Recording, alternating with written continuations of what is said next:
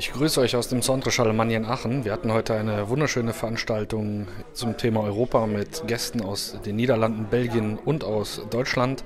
Und ähm, es war ein sehr, sehr angeregtes äh, Diskussionsumfeld mit sehr vielen tollen Ergebnissen.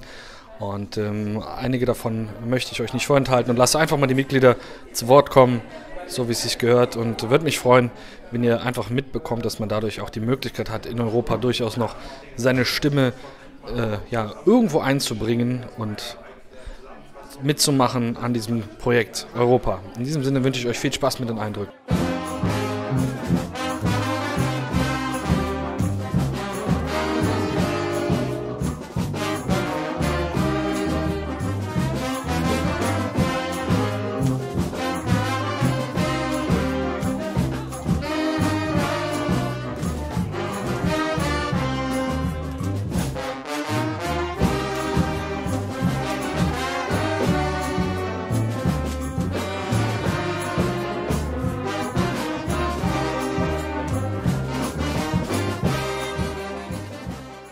Herzogenrath, also aus dem Umkreis.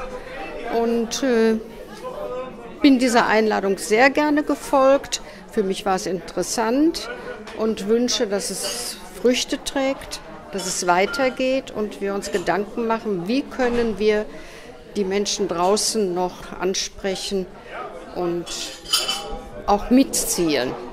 Das war eine voll motivierte Veranstaltung. Ich fand das toll. Die Leute waren gut drauf und haben diesen europäischen Gedanken äh, getragen. Und ich nehme mit, dass wir jetzt rausgehen und äh, dieses Projekt Europa positiv kommunizieren. Die Veranstaltung war sehr gut. Also es hat Spaß gemacht, da zu sein und äh, man nimmt auch sehr viel mit. Sehr spannend. Äh, ich fand es besonders interessant, weil wir so eine vielfältige, bunte, gemischte Gruppe waren. Und das ist eigentlich genau das, was Europa für mich ausmacht.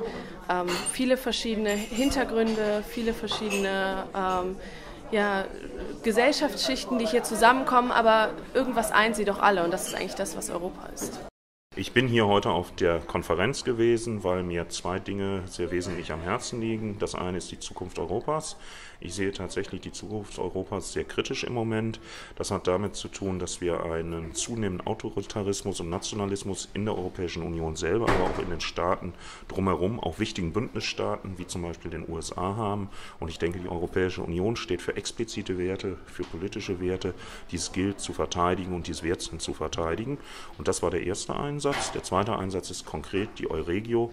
Wir leben hier in einer Region, auch wenn ich sozusagen von außerhalb komme, habe ich doch familiäre Bindungen hierhin die ganz klar eine Chance sind, um Europa im Kleinen zu entwickeln. Und es geht darum, dass wir dieses, äh, diese Euregio zu einer Modellregion für den europäischen Integrationsprozess machen und damit auch ausstrahlen gegen Nationalismus, gegen Autoritarismus und hier die europäischen Grundwerte leben.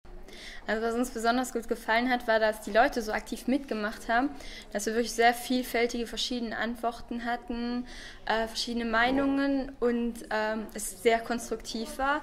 Also auf jeden Fall etwas, womit man arbeiten kann, was man verwenden kann für später und auch, dass die Leute so begeistert davon waren und auch weitermachen wollen, sich nochmal sehen wollen. Das ist für uns natürlich als Mitveranstalter auch ähm, sehr schön, denn ist ja auch so eine Art Belohnung für unsere Arbeit. Ich fand die heutige Veranstaltung insofern erfrischend.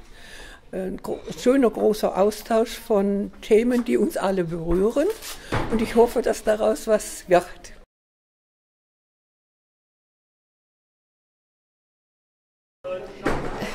Alles. Rundum hat es gepasst.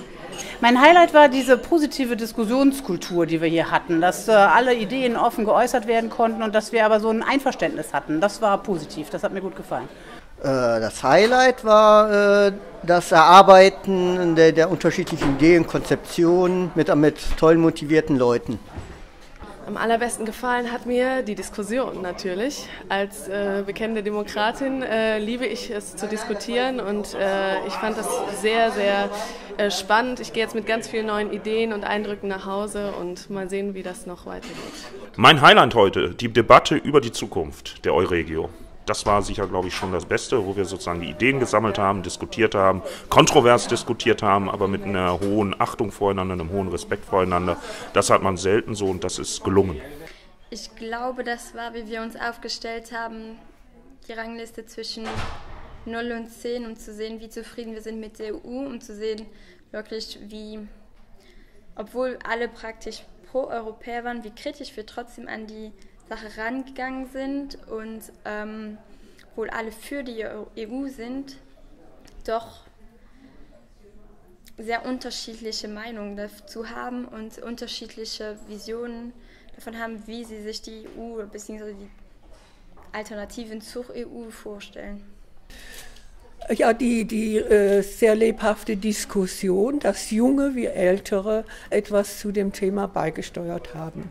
Zum Thema Europa, das ja für uns wichtig ist, denn nur wenn wir ein starkes Europa haben, haben wir ein Gegengewicht zu den anderen großen äh, Blöcken.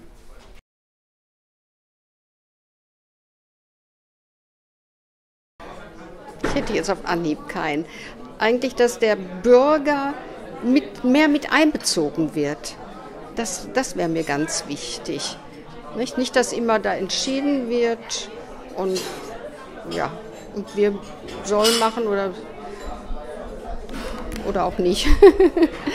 also, ich freue mich auf den 6. Mai und äh, ja, das ist also eigentlich meine Botschaft, dass die EU äh, den Bürger mitnimmt. Dankeschön. Gerne. Das eine tun und das andere nicht lassen. Also sich um die EU im Inneren kümmern, dass wir politisch schlagkräftiger werden und auf der anderen Seite aber gucken, dass wir regeln, dass wir als EU Einwanderung äh, legalisieren und Wege finden, sodass wir gemeinsam wachsen können.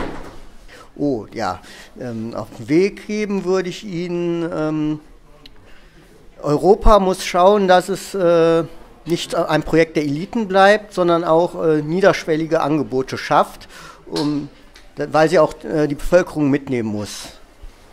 Sonst ähm, äh, sehe ich die Gefahr, dass äh, die ganzen tollen Impulse, die von Europa ausgehen, äh, überhaupt nicht umgesetzt werden können, wenn die Bevölkerungen der unterschiedlichen Länder auch nicht mitziehen. Ich würde zwei mitgeben. Gebt die Europäische Union nicht auf. Kämpft für dieses Projekt, dass es wert ist, das lebenswert ist, das sozusagen den Menschen Freiheit, Sicherheit, Rechtsstaatlichkeit seit 70 Jahren gibt und stärkt die Euregios, stärkt sozusagen die grenzüberschreitende Zusammenarbeit als ein Europa im Kleinen. Da wächst Europa. Das, was wir momentan für einen Status haben, das ist erst der Anfang. Es kommt noch viel mehr.